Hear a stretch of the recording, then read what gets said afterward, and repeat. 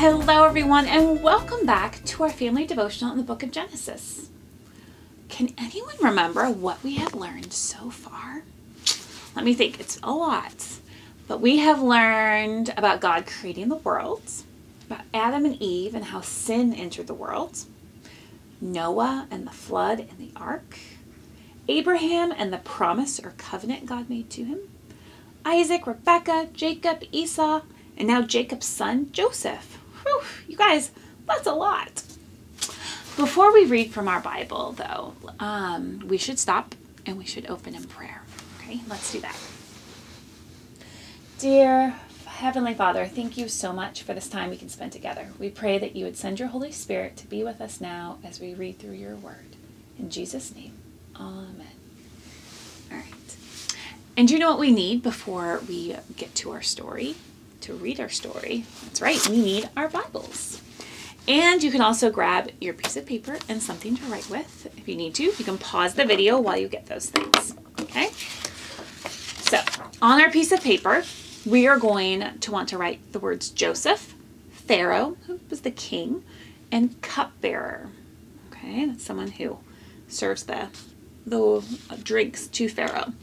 So if you want to, if you don't want to write the words out, you can draw little pictures for each of those. Okay, Joseph, Pharaoh, and cupbearer. And I want you to listen really well as I'm reading and see if you can write a little check mark for each time you hear those words mentioned, okay? And then we'll see if we heard them the same number of times, all right? So we're going to be in Genesis, which is the first book in the Bible. And remember, we look for the big number and then the little, okay? And we're going to be in Joseph, or in Joseph. We're learning about Joseph. We're going to be in Genesis chapter 39 through 41, which is a lot, but I'm not going to read directly from here, but I want you to have that open just so you can see what I'm reading about here for yourselves, okay? But it's so long, I won't read every single word. Okay, you ready? Let's begin. Genesis 39 to 41. The travelers who brought Joseph took him to Egypt and sold him to an Egyptian officer named Potiphar. God was with Joseph and made him successful at everything he did. Potiphar put Joseph in charge as his personal assistant. One day, Potiphar's wife tried to get Joseph to sin against God and Potiphar, but Joseph refused.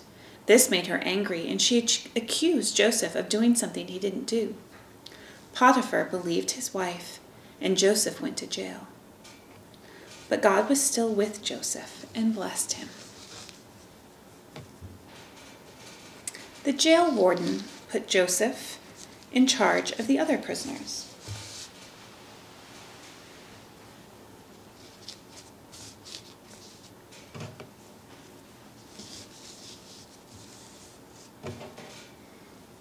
One night, two of the prisoners, Pharaoh's cupbearer and baker, both had dreams. They told Joseph about the dreams they had. The cupbearer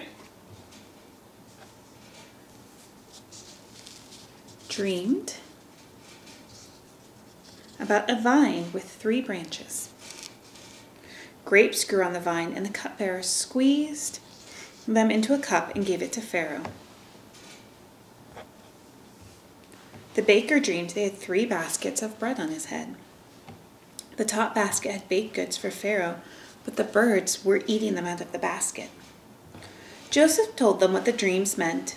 Joseph said that in three days the cupbearer would serve Pharaoh again, but the baker would not, because in three days he would be put to death. Joseph asked the cupbearer to remember him and to tell Pharaoh that he did not deserve to be in jail. The cupbearer did serve Pharaoh again, but he forgot about Joseph. Two years later, Pharaoh had two dreams. Pharaoh saw seven fat cows eaten by seven skinny cows, and seven fat heads of grain eaten by seven thin heads of grain. No one knew what these dreams meant, Finally, the cupbearer remembered Joseph. God told Joseph what Pharaoh's dreams meant, and Joseph explained the dreams to Pharaoh. The dreams represent seven years when food, plenty of food will grow, followed by seven years when no food will grow. You should choose someone to save food during the good years to use during the bad years. Pharaoh realized that God was with Joseph, so he made Joseph second in command in all of Egypt. No one was more powerful than Joseph except for Pharaoh himself. Joseph stored away food during the good years. When the famine came, people from every land came to Egypt to buy grain from Joseph. All right, you guys, wow, how many times did you count Joseph, Pharaoh, and cupbearer? I counted Joseph 22 times, Pharaoh 12 times, and cupbearer 7 times. Did you have the same amount? Yeah? All right. So, if you remember the start of the story last week, you may realize that Joseph has some experience with meaningful dreams. In his dreams as a boy, Joseph saw images that suggested he would one day rule over his family. As a slave, it may have seemed that would never happen. But God was with Joseph and blessed Joseph's work. When Potiphar's wife lied about Joseph, he ended up in prison. But not even jail time can stop God's plans. Soon Joseph was so trusted that the jailer allowed Joseph to run the prison. When the cupbearer and baker from Pharaoh's own kitchens were thrown in jail, Joseph was there in a position of power. After they had strange dreams that Joseph could understand, it seemed that Joseph may have found a way out of prison at last. But for two years after the cupbearer went back to serving Pharaoh, he forgot about Joseph. Whew. It wasn't until Pharaoh himself had a dream that needed explaining that the cupbearer finally remembered Joseph. So Joseph explained Pharaoh's dreams about years of plenty and years of famine. So Pharaoh trusted Joseph to collect food for Egypt. God gave Joseph power to understand dreams, and through that ability, Joseph moved into a new position of power, this time over all of Egypt. This position would be extremely important for the next part of God's plan to save Jacob's family.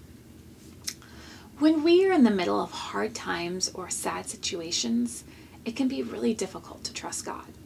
Though we may not always see the ways that God is working, we can trust that He is working. We can trust that just like Joseph may not have known at first why God allowed him to be a slave and then a prisoner, that it was all part of God's plan. God sent Joseph to Egypt and blessed him so that he rose to a position of great authority, and God used Joseph to help Joseph's family and many others. Now, when Jesus comes to earth, when Jesus came to earth, he gave up his position of honor in heaven to be the Savior of the world. Then Jesus died on the cross and rose again to save us from sin. God's plan always works out for his glory and our good. So let's take a few minutes now to talk through some questions as a family, and you can feel free to pause the video and join me again when you're ready.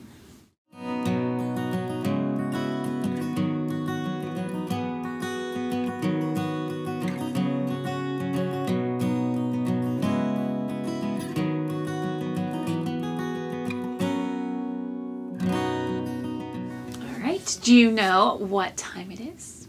That's right, it's our memory verse challenge time.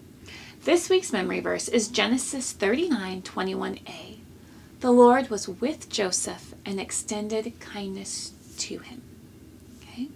For our challenge today, let's get some pieces of paper and write one word on each piece of paper along with the reference on one piece. So that's Genesis, the Genesis portion and you'll want to lay the papers out in order and read through it together a few times. Then the grown-up or grown-ups in your house can hide the pieces of paper around the house while everyone else closes their eyes or goes and hides in another room. Then everyone who's keeping their eyes closed can go on the scavenger hunt for the verse papers. And you can work together to put them back in the right order. And then go ahead and read through it a couple times as a family, reciting it until you feel as if you might have it memorized. Okay? All right, let's close in prayer. God, thank you for always working things out uh, for your good, for our good, according to your plan. We pray, Lord, that we would bring you praise and glory in our lives. Thank you for loving us. Please help us to love you and others more. In Jesus' name, amen. I hope you have a brilliant week, and I look forward to seeing you next week for you guys, our last family devotional in the book of Genesis. It has come up so fast. I hope you have a good week. Bye.